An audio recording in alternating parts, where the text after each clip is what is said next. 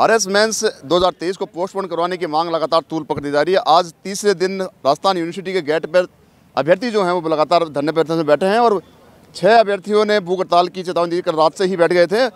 तीन की तबीयत भी ज़्यादा खराब बताई जा रही है। हालाँकि इनका इलाज चल रहा है, लेकिन तबीयत खराब हुई है इनकी यहाँ पे अभ्यर्थियों की, जो भूख हड़ताल बैठे थे। और हाथों में बैनर और जो आरपीएससी द्वारा जारी किए गए एग्ज़ाम डेट थे, उनको भी यहाँ पे प्रदर्शित किया गया। बाकायदा जितने भी बीजेपी में जो नेता थे, उन्होंने विपक्ष में रहते हुए जो भी ट्वीट किए आर एस मेंस के पक्ष में, वो भी उन्होंने बाकायदा एक बैनर छपवा के उन्होंने लगाया है।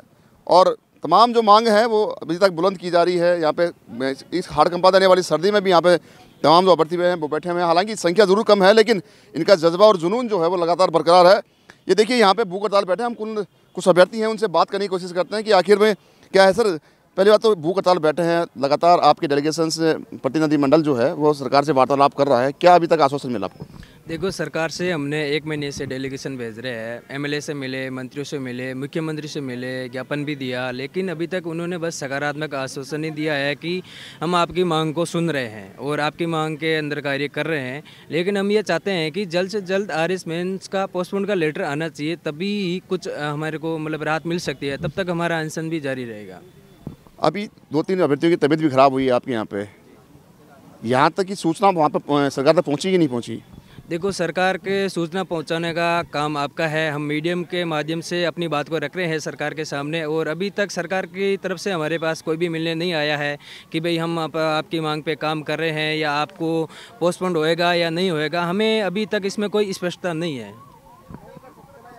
दो डेलीगेशन आपसे मिल चुके हैं। दिया कुमारी से मिलने की बात कही थी पहले और प्रेमचंद बैरवा डिप्टी सीएम उनसे बात हुई थी। क्या पूरा समीकरण रहा? क्या बातचीत हुई? सर, जैसा कि हम बता चुके हैं पहले भी कई बार कि जितनी बार हमारा डेलीगेशन गया, उनकी तरफ़ से सिर्फ़ हमें आश्वासन ही दिया गया है।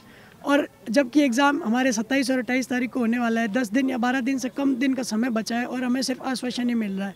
और हम बार बार सरकार से यही मांग कर रहे हैं कि हमारा जल्द से जल्द जो है एग्ज़ाम पोस्टपोन का लेटर आए, क्योंकि हमें समय कम दिया गया है। समय कम की मांग थी, इसीलिए हम अभी धरना प्रदर्शन करने वरना हमें प्री में समय, उचित समय दिया गया था तो हम प्री के अंदर हमने कोई विरोध प्रदर्शन नहीं किया था। हमारा मेज़ के अंदर समय की मांग है तो हम वही कर रहे हैं, जबकि आरपीएससी खुद डिसाइड नहीं कर पा रही है कि बच्चों को कितना समय दिया जाना चाहिए।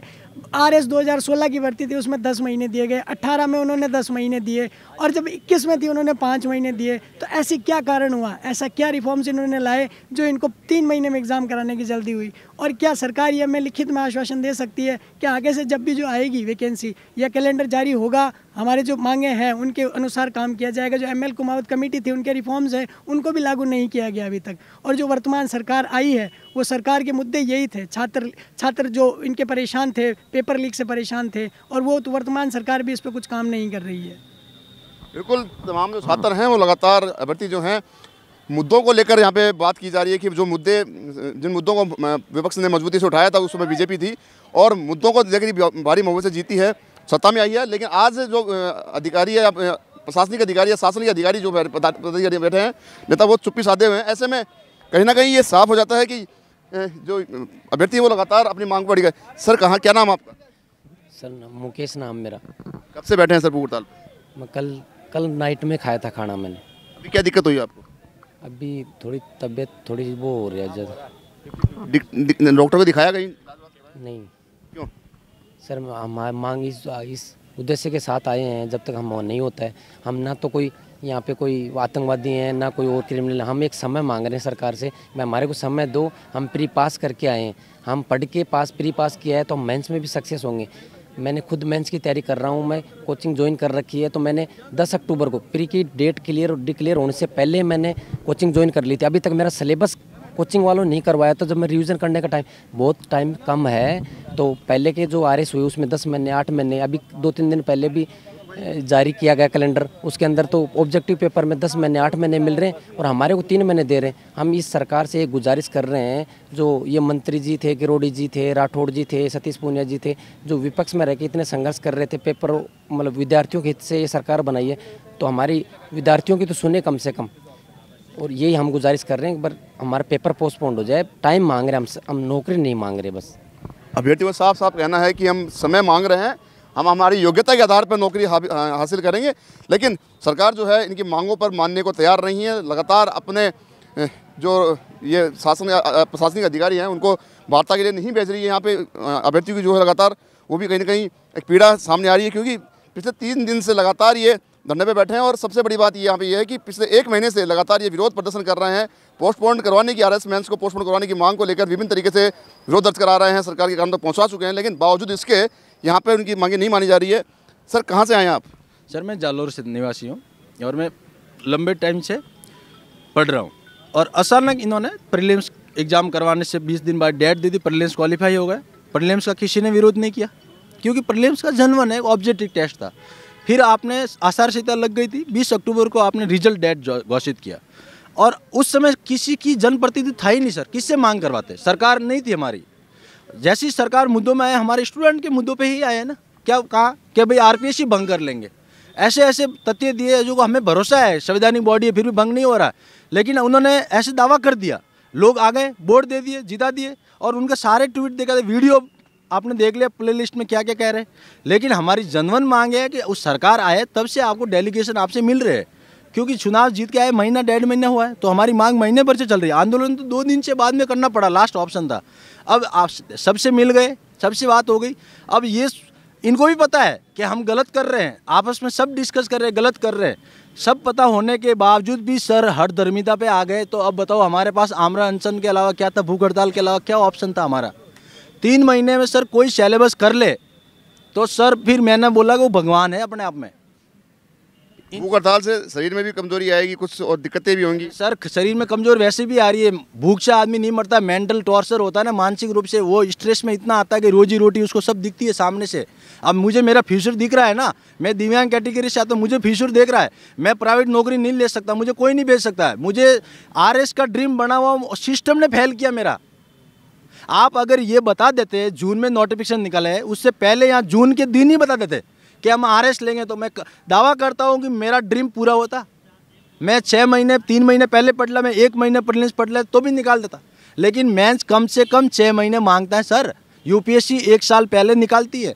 एम अभी इनकी सरकार जीत के आई है, सर। शैम दावे किए थे शैम मांगे इनकी। फिर उन्होंने कर दिया है यूपी पी पाँच साल में तीन साल में मात्र पाँच एग्ज़ाम करवा चुके, सर। एक साल पहले 2025 का भी जारी कर दिया, एक एक 2024 का भी यूपी पी सी ने एक दिसंबर को जारी कर दिया है। अगस्त में मैच है मार्च में प्रीलिम से, बताओ सर, अप्रैल, मई, जून, जुलाई, अगस्त, सितंबर, अक्टूबर, सात महीने दिए सर। वो क्या है, क्यों दे रहे हैं फिर? अपन इतनी जल्दबाजी में क्यों? और एक वनडे एग्ज़ाम होता है, उसमें सिर्फ़ ऑब्जेक्ट होता है सर। उसमें सिर्फ़ दस महीने का टाइम दिया अभी विधि रक्षक सहायक, खान अभियंता। इनमें दो, चार एग्ज़ाम चार दिन पहले लाया है। तो हमारी अंदर की भावना अब निकल रही है। अगर ये नहीं मान रहे तो हम अल्टीमेट दे देते हैं। मैं भी मैं दे रहा हूँ उनके निर्देश पे। कि सामूहिक हड़ताल पे बैठ जाएँगे पचास लोग? ये कम से कम बता रहा हूँ मैं संख्या। ये सर हरदर्मिता छोड़ दो। ईमानदारी की बात करो तो ईमानदारी कैलेंडर आज जारी कर लो आरपीएससी 2024 का। हम मान जाए कि तू ईमानदारी से हमारा ट्रांसपेरेंसी काम कराना चाहता है राजस्थान में। ऐसे नहीं होता सर हरदर्मिता ईमानदारी फ़र्क होता है।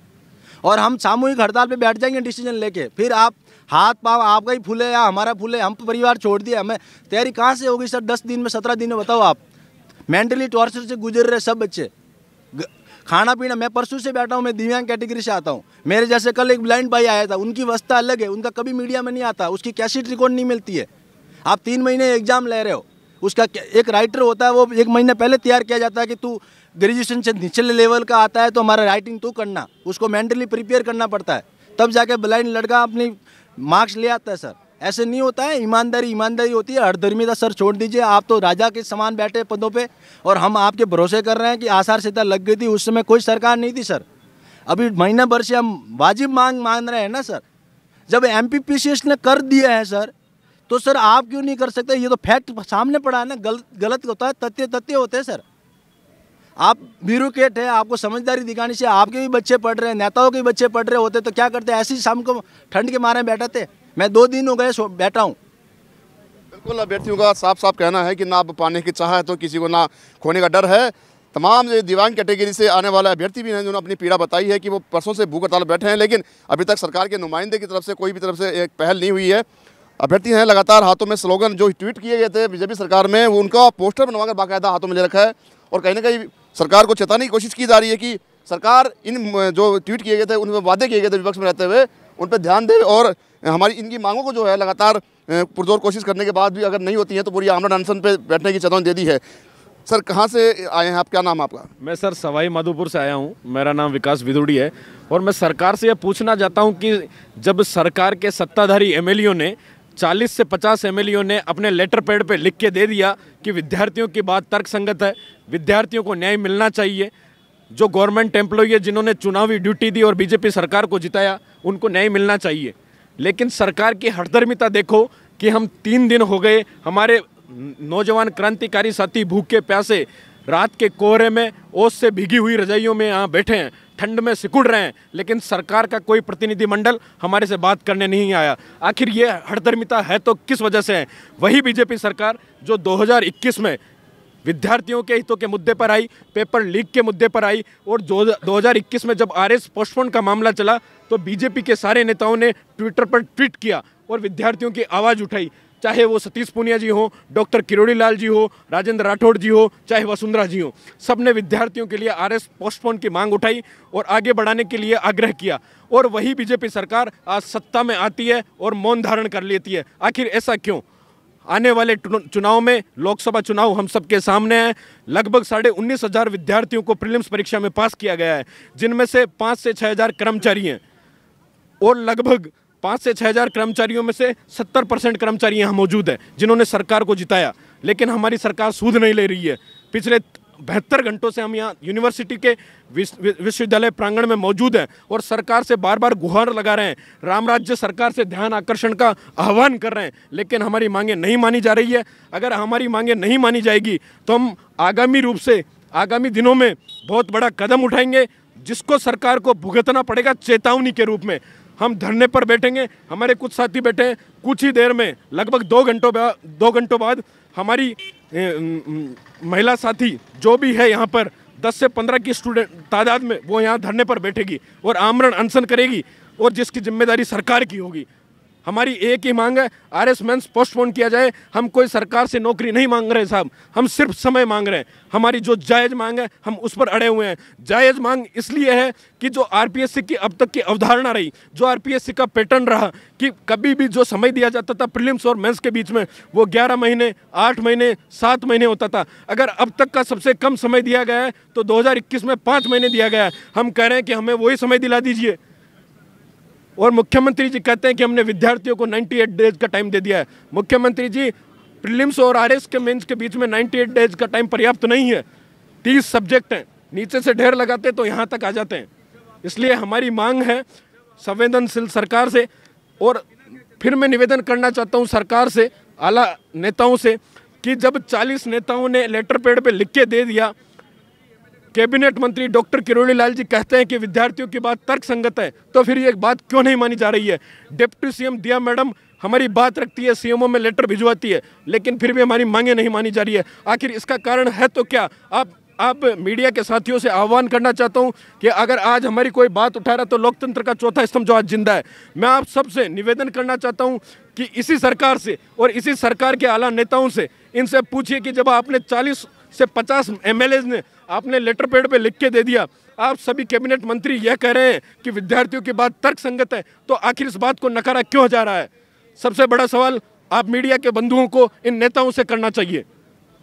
बिल्कुल छात्र जो हैं, अभ्यर्थी हैं, लगातार जो अपनी मांग को बुलंद करने के लिए धरने पे बैठे हैं और जो छात्र नेता हैं या फिर जो संगठन के नेतृत्व तो कर रहे हैं, धरने का नेतृत्व तो कर रहे हैं उन्होंने साफ़ साफ़ चेतावनी दे दी है कि आमरण अनशन में बैठने की चेतावनी दे दी है। पचास से साठ की तादाद में अभ्यर्थी जो हैं, आमरण अनशन पर और भूख हड़ताल बैठने की आगे की रणनीति बनाई है। अगर अगर नहीं मानती सरकार इनकी मांगों को तो ये आंसन आमरण अनशन में बैठेंगे भूख हड़ताल बैठेंगे, जिनकी समस्त ज़िम्मेदारी सरकार की इन्होंने तय कर दी है। देखिए, तमाम जो छात्र अभ्यर्थी हैं, वो लगातार जिसमें गवर्नमेंट सर्वेंट भी हैं और लोकसभा चुनाव आने वाले हैं 2024 में होने हैं इनकी भी उन्होंने चेतावनी दे दी है कि हम किसी न किसी प्रकार से बीजेपी में आईना दिखा देंगे। एक भर्ती हो रहा है उनसे बात करते हैं। सर कहाँ से पहुँचे आप? जैसलमेर से। दो डेलीगेशन आपके प्रतिनिधिमंडल जो मिल चुके हैं डिप्टी डीएम दोनों डिप्टी सीएम से बात दिया कुमारी की हो चाहे बात प्रेम देरवा की हो क्या बात वार्ता रही उन्होंने तो ये बोला हम सरकार से बात कर रहे हैं लेकिन अभी तक तो कोई संतोषजनक जवाब आया नहीं है उनकी तरफ़ से। अभी लास्ट जो आपकी मांग है वो क्या क्या है? अभी तो तत्काल मांग तो यही है कि पोस्टपोन किया जाए और आरपीएससी में सुधार करो। क्योंकि देखो आर पी एस सी अस्सी नंबर दे के कोऑपरेटिव इंस्पेक्टर बना रही है। इसका मतलब वो अस्सी नंबर इसलिए दे रही है कि उस लड़के को अंदर लेना है। अस्सी नंबर अगर उसमें क्षमता होती तो उसको अस्सी नंबर की ज़रूरत ही नहीं होती इंटरव्यू में। तो वो अभी ये चेयरमैन जा रहा है अगस्त में। ये सोच रहा मैं एक इंटरव्यू ले लूँ। कैसे भी करके अपना माल पानी का तैयारी कर रहा है वो। क्योंकि 80 नंबर वो दे के कोऑपरेटिव इंस्पेक्टर बना रहा है इसका मतलब उसमें कॉपी में तो वो कुछ लिख के आया ही नहीं। वो 80 नंबर, उस 80 नंबर से कोऑपरेटिव बनाया 80 नंबर दिया जब कोऑपरेटिव बनाया 80 नंबर देने पर एस बनना चाहिए था, अगर उसमें क्षमता होती तो। तो इसका मतलब भ्रष्टाचार फुट चल रहा है इसमें, ये सब मिले हुए हैं। अभ्यर्थियों का साफ़ साफ़ आरपीएससी चेयरमैन पर और आरपीएससी जो है, उन पर भ्रष्टाचार के आरोप लगाए हैं। उन्होंने कहा है कि चेयरमैन जो है, अगस्त में कार्यकाल पूरा होने वाला है। उनसे पहले ही वो चाहते हैं कि एक इंटरव्यू और कर लूँ और मैं कहीं ना कहीं पैसे लेने की बात यहाँ पे कही गई है अभ्यर्थियों द्वारा। तो कहीं ना कहीं साफ़ हो जाता है कि आरपीएससी लगातार विवादों में रहा है और आरपीएससी ने पहली एग्ज़ाम सहायक आचार्य और पीटीआई की भर्ती एग्ज़ाम जो थी वो करवा दी है सात जनवरी को। लेकिन अब आरपीएससी चाह रहा था कि कोई चूक ना हो, क्योंकि गहलोत सरकार में भी आरपीएससी लगातार विवादों में रहा है। ऐसे में इन अभ्यर्थियों का जो अभ्यर्थियों की मांग है, वो एक आर आर एस में को पोस्टपोन करने की है। तीन महीने का समय अतिरिक्त मांगा जा रहा है। कैमरा पर्सन रमाकांत व्यास के साथ संदीप अग्रवाल तनगरी मीडिया, जयपुर।